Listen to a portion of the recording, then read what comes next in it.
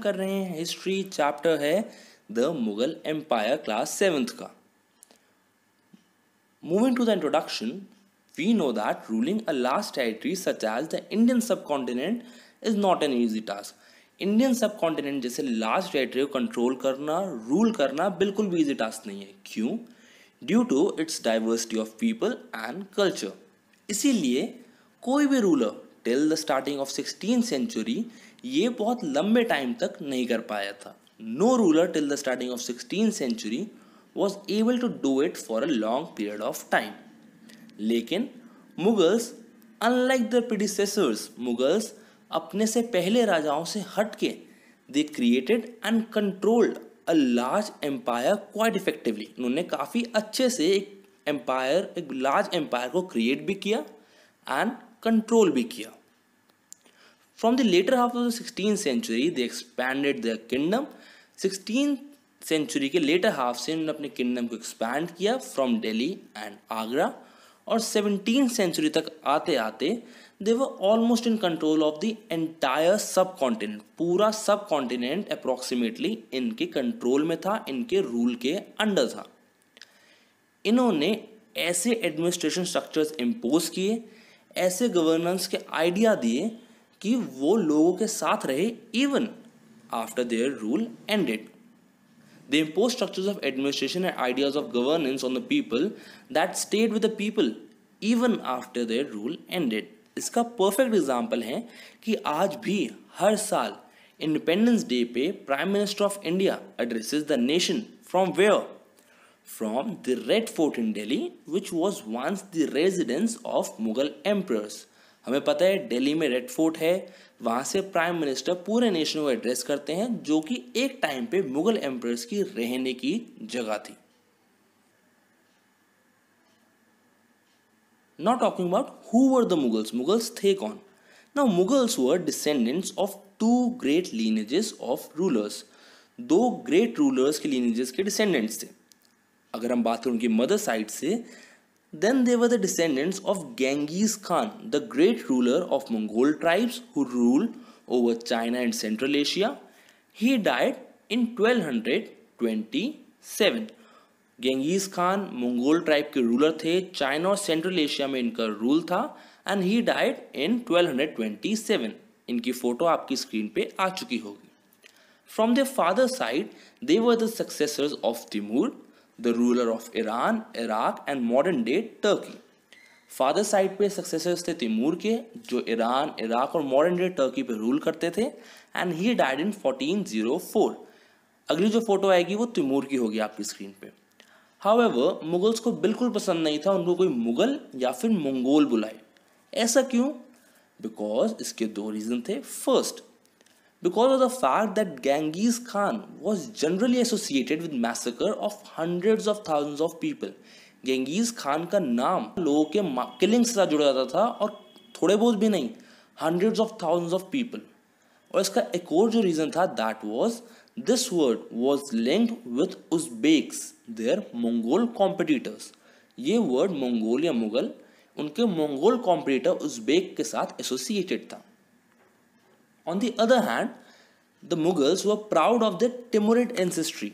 इसका रीज़न क्या है? इसका रीज़न है that their great ancestor Timur captured Delhi in the year 1308. Timur ने दिल्ली को कैप्चर किया था एक बार 1308 में. So they celebrated the genealogy वो अपनी जीनियोलॉजी को सेलिब्रेट करते थे यूजिंग पिक्चर हर मुगल एम्पर अपनी पिक्चर बनवाता था with Timur each ruler getting a picture made of Timur and himself.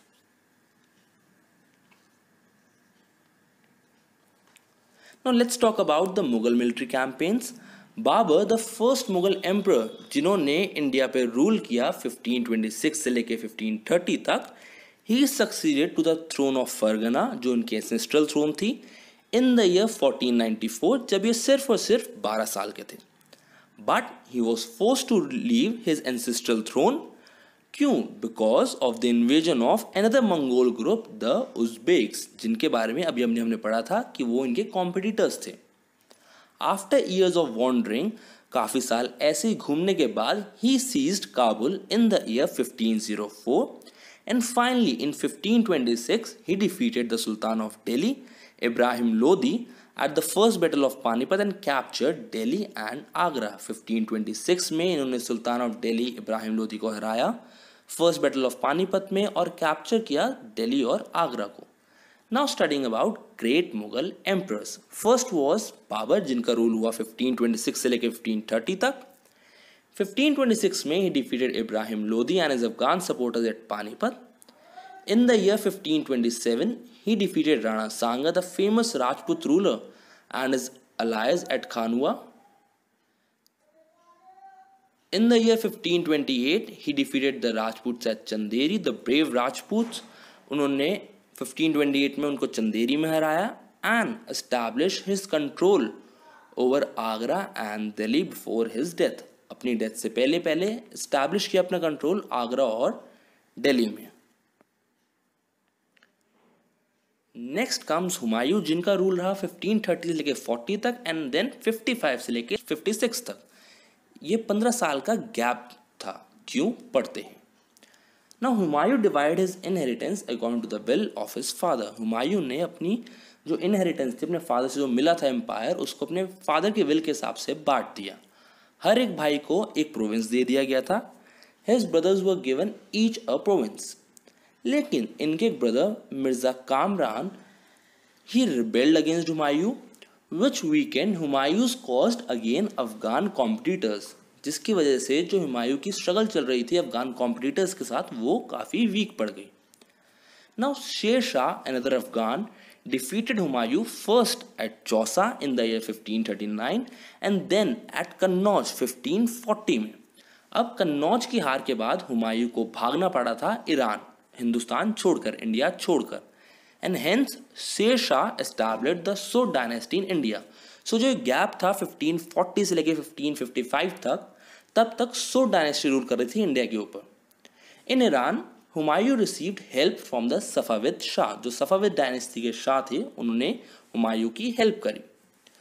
Hence he recapture Delhi in 1555 लेकिन अगले ही साल एक एक्सीडेंट हुआ पुराना किला में। दिल्ली में, जिसकी वजह से इनकी डेथ हो गई। Now the next ruler comes Akbar जिनका रूल चला 1556 से लेकर 1605 तक। नाउ अकबर से वो सिर्फ़ तेरह साल के थे जब ये एम्पर बने। इनके रेन को, इनके रूल को हम तीन पार्ट्स में, तीन पीरियड्स में डिवाइड कर सकते हैं। द फ़र्स्ट पीरियड बीइंग 1556 से लेकर 1570 तक, जब अकबर अपने रेजेंट बैरम खान और बाकी डोमेस्टिक स्टाफ के इंडिपेंडेंट हुए बैरम खान, जिनके फादर हुमायूं के बहुत ट्रस्टेड मिलिट्री कमांडर थे। In this period military campaigns were launched against the Suris and other Afghans against the neighbouring kingdoms of Malwa and Gondwana and इसी के साथ साथ to suppress the revolt of his half brother Mirza Hakim and Uzbeks. Military campaign launch किए गए सूरीज के खिलाफ, अफगान के खिलाफ, Malwa, Gondwana and to suppress the revolt of his half brother Mirza Hakim and Uzbeks. 1568 में he seize the Sisodia capital of Chittor और 1569 में Ranthambore next period is 1570 to 1585 military campaigns in Gujarat हुआ launch Gujarat के खिलाफ military campaign launch किया गया। इसी के बाद बिहार, बंगाल और उड़ीसा के खिलाफ लॉन्च किया गया।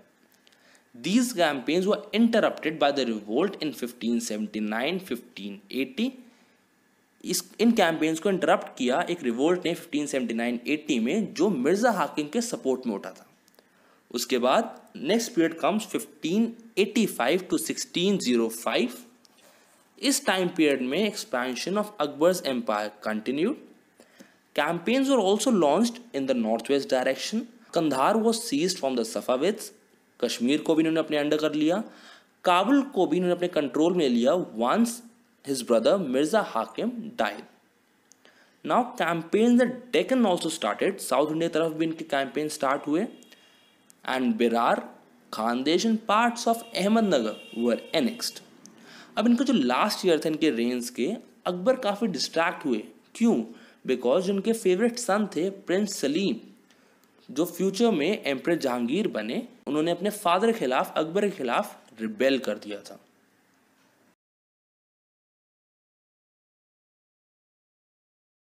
So the next is Jahangir 1605 से लेकर 1627 तक इनका रूल चला। जो मिलिट्री कैंपेन्स अकबर ने चलाए थे, उन्होंने जहांगीर ने उनको कंटिन्यू किया। जो सिसोदिया रूलर थे मेवाड़ के अमर सिंह महाराणा प्रताप के बेटे he accepted the Mughal service less successful campaigns against the six the Ahoms and Ahmednagar followed Sikhs आपके पंजाब की साइड अहोम्स आसाम की एंड अहमदनगर आपका साउथ में पड़ जाता है। नाउ प्रिंस खुर्रम जो बाद में जाके एम्प्रेस शाहजहां के नाम से जाने जाते थे he rebel in the last years of his reign Jahangir के last years of his rule में प्रिंस खुर्रम जो बाद में एम्प्रेस शाहजहां के नाम से जानेगा, उन्होंने रिबेल किया। Now the efforts of Nur Jahan जो जहांगीर की वाइफ थी टू मार्जिनलाइज शाहजहां वो अनसक्सेसफुल वो सक्सेसफुल नहीं हो पाए एफर्ट्स उनके। The next Mughal emperor being Shahjahan जिन्होंने रूल किया 1627 से लेकर 1658 तक। ना Mughal campaigns continued in the Deccan under Shahjahan एक अफगान जो नोबल थे, Khan Jahan Lodi he rebelled but was defeated campaigns were launched against Ahmednagar also Bundelas, जो एक तरह के राजपूत होते हैं they were defeated and Orchha was seized Orchha उनकी सीट थी जहाँ से वो रूल करते थे। नॉर्थ ईस्ट में एक कैंपेन चलाया था to seize Balkh from the Uzbek that was unsuccessful वो सक्सेसफुल नहीं हो पाया। And Kandahar was lost to Safavids अब कहा जाता है जो कंधार हार गए सफाविट्स को, ये इनके पूरे रूल की सबसे बड़ी हार मानी जाती है। In the year 1632, Ahmednagar was finally annexed and Bijapur forces sued for peace. 1632 में अहमदनगर को फाइनली एनेक्स कर लिया गया कंप्लीटली और बीजापुर को फोर्सेस को फोर्स किया गया कि वो पीस एक्सेप्ट करे वो भी मुगल टर्म्स पे। अब 1657 और 1658 ईयर्स में there was a conflict over succession among Shahjahan son Shahjahan के चार बेटे थे उन चारों में कॉन्फ्लिक्ट हुआ सक्सेशन के लिए। Now, Aurangzeb was victorious and his three brothers, including Dara Shukho, जो शाहजहां के सबसे बड़े और शाहजहां के सबसे फेवरेट बेटे थे all three including Dara Shukoh was killed and Shahjahan was present for the rest of his life in Agra अपनी बाकी पूरी ज़िंदगी के लिए शाहजहां को इम्प्रिजन कर दिया गया आगरा में।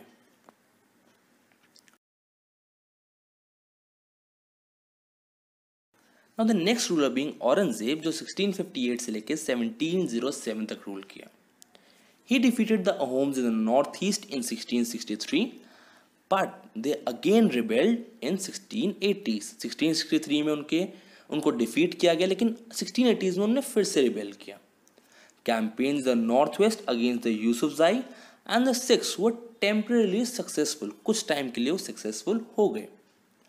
अब जब मुगल्स ने इंटरवीन किया इन द सक्सेशन कि अगला किंग कौन बनेगा? And internal politics of Rathore Rajput of Marwar Rajasthan के राठौर राजपूत जो है मारवाड़ के, उनके सक्सेशन में इंटरवीन किया मुगल्स ने तो उसकी वजह से उनकी तरफ़ से रिपेलियन हो गया।